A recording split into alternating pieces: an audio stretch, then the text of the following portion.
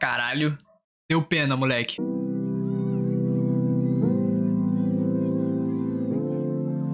Rapaziada, como é que vocês estão? Cara, basicamente são uma hora da manhã. Acabou de acabar. Whindersson Nunes versus Popó, tetracampeão do boxe mundial e mundial do boxe. E, cara, vamos lá. Um belo dia, o Whindersson acordou e falou: Hum, acho que eu vou enfrentar o tetracampeão do boxe numa luta oficial. Foda-se. Porque sim, oficial não, né? No evento, certo? E isso aconteceu, rapaziada. Foi sendo hypado aí nas últimas semanas, certo? Esse mês inteiro. Teve várias outras lutas, é, Minotouro ali, lutando com outro cara também, o Leleco eu vi essa luta, essa luta foi bem da hora também. Começou 7 horas o evento e foi até uma hora da manhã, tipo, até agora, tá ligado? Que acabou a luta principal lá. Eu fiquei revezando, não fiquei assistindo todo o evento, obviamente. Eu tava focado só em ver a luta principal. Box é um esporte que eu me interessei por causa de um mangá chamado Ashita Joe. Me interessei não, eu conheci esse esporte por causa de um mangá chamado Ashita Joe. Um mangá que mudou a minha vida, tipo, no quesito de anime, mangá, esse tipo de coisa, porque é incrível. É uma obra espetacular e eu jamais vou ler ou assistir algo tão belo e maravilhoso quanto esse mangá, tá ligado? Eu conheci muitas coisas, regras do boxe, como um atleta se ferra para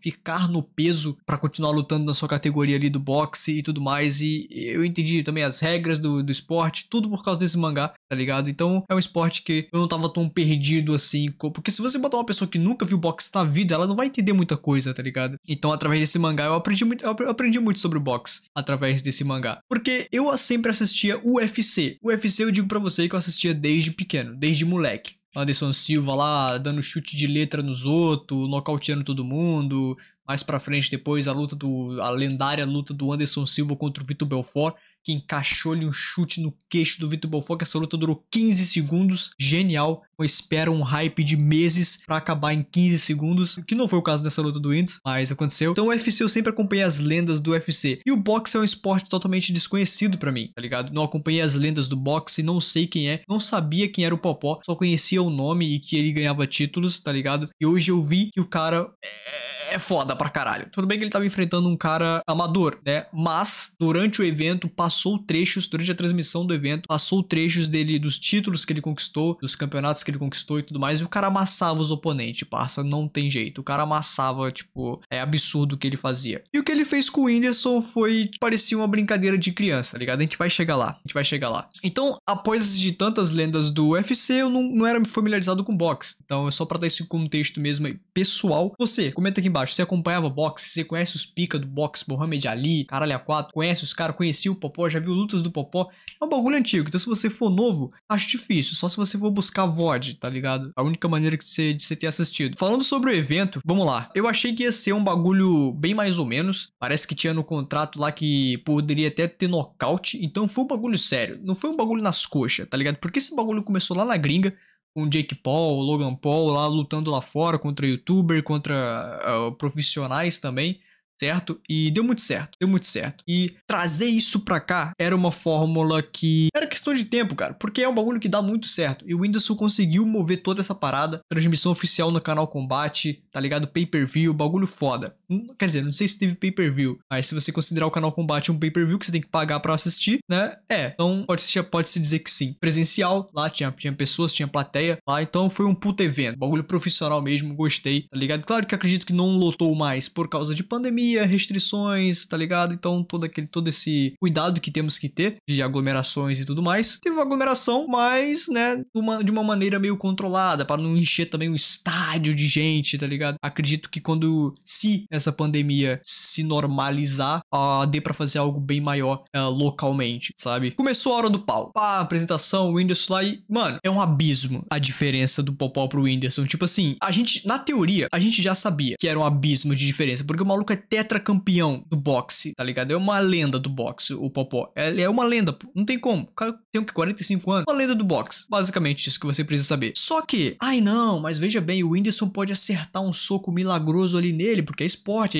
A gente já viu tudo isso aconte acontecer no, no, no UFC, eu já vi pelo menos. Só que com a luva do boxe, eu acho que É, é diferente, tá ligado? Então, o Whindersson, galera falando, não, o Whindersson pode acertar um soco ali milagroso ali, tudo pode acontecer e o Popó pode cair, pode acontecer do Whindersson ganhar. Na prática, não, não pode acontecer do Whindersson ganhar. A realidade, ela é, ela é um pouco brutinha, tá ligado? Tipo a, a, aquele meme do FBI Open Up, quebrando a porta, invadindo a porra toda. Então, essa é a verdade, é na prática. Não, não tinha menor chance do Whindersson ganhar. Parecia que o Popó tava batendo numa criança indefesa, porque o Whindersson parecia que ele tava com medo de dar soco. Só que ele não tava com medo de dar soco. Ele tava com medo de dar um soco e receber 10 de volta, tá ligado? Esse que era o problema. Eu não vou aqui querer dar lições de boxe pro Whindersson, porque ele sabe mais de boxe do que eu, que o Whindersson treina com profissionais. Então, eu não vou ficar aqui falando, ai, Whindersson, você teria que ter esquivado, ele deveria ter feito isso, ele deveria ter feito aquilo. Amigo, tá na frente de um tetracampeão do esporte. Não tem muito o que você fazer. Ah, eu vou tentar esquivar aqui. Não, você não vai conseguir. O cara vai te amassar e te dobrar, tá ligado? O cara bateu de frente com fodões do planeta inteiro. Amassou os caras. O que você vai fazer na frente dele? Você não vai fazer nada, você vai tremer. Vai, você vai receber soco. E isso o Whindersson foi muito bem. Um belo recipiente de soco o Whindersson serviu para essa luta. Mano, o que o Whindersson aguentou de soco, meu parceiro? Puta merda, porque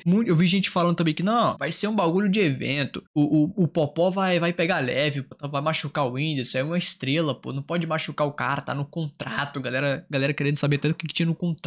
Não, falei, se tá no contrato que ele não podia machucar o Whindersson, isso não tava, ninguém avisou isso pro Popó não, porque o maluco macetou, parceiro. O Popó macetou o Whindersson até a mão doer. Puta merda, mas tava batendo rindo. Tava batendo, era sequência de... Se o Whindersson acertou uns três socos no Popó, foi tipo muito, nos oito rounds, tá ligado? Foi uma sequência de avassalagem de soco que eu não consigo entender. Elogio pro Whindersson. Aguentou sem desmaiar, parceiro. Claro, o árbitro também intervi... interviu várias vezes na luta, porque o Whindersson balançou umas quatro, cinco vezes, tá ligado? Tipo, balançar mesmo de quase cair. Foi cinco vezes aí, arredondando para menos, eu acho. Então, toda hora o árbitro ficava parando a luta para não, pra não, não sofrer lesão, esse tipo de coisa, né? Mais grave, né? Uh, pra vocês terem uma noção, cara, lutadores de boxe, eles têm. De tanto ficar recebendo porrada na cabeça durante vários anos, eles podem adquirir a tal doença, a de demência do pugilista. Acho que é esse o nome. É, é uma lesão que você tem no cérebro, que é irreparável, tá ligado? Porque é de tanto você ter tomado soco no cérebro a sua vida inteira, tá ligado? Pra você ver que é um esporte, é um esporte bruto. Box é um esporte bruto, parceiro. É, é bizarro, é, é, é, foda. Você tem que ser uma máquina. Tanto pra preparação, para você ficar no peso, perder não sei quantos quilos, pra poder se manter no peso, na sua categoria ali. É um bagulho desumano, parceiro. Tem, tem que gostar muito do esporte. Puta merda. Então, assim, o Whindersson foi macetado pra caralho. Deu pena. Deu, não teve outra. É um abismo de diferença. Não tem como, família. Não deu. Ai, ai, vai acertar um golpe milagroso. Não, não tem golpe milagroso, não. Não tem, não existe isso. Na prática, tipo, não. O Whindersson não ia conseguir ganhar nunca do, do Popó. O que vocês acharam? Comenta aqui embaixo. Deu pena. Puta merda. Coitado do Whindersson.